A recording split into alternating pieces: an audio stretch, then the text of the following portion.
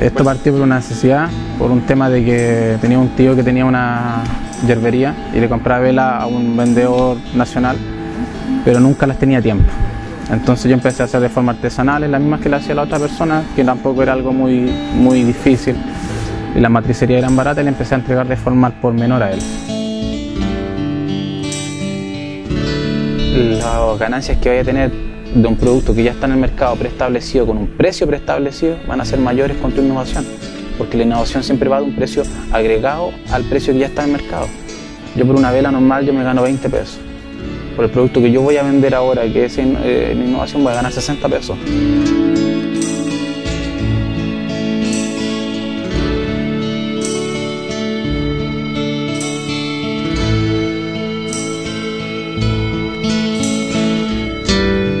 Nunca imaginé que tener una, una empresa o una fábrica que iba ya a tener una responsabilidad tan grande porque soy joven, tengo 25 años.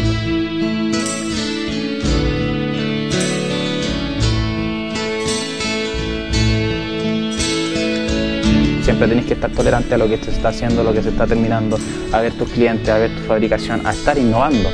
Porque si tú no innovas aquí en este negocio, tú te vas para abajo. Entonces, en eso fue lo que yo también, a muchas de mis competencias que son fabricantes grandes, le- la empresa se les fueron hacia abajo porque nunca innovaron.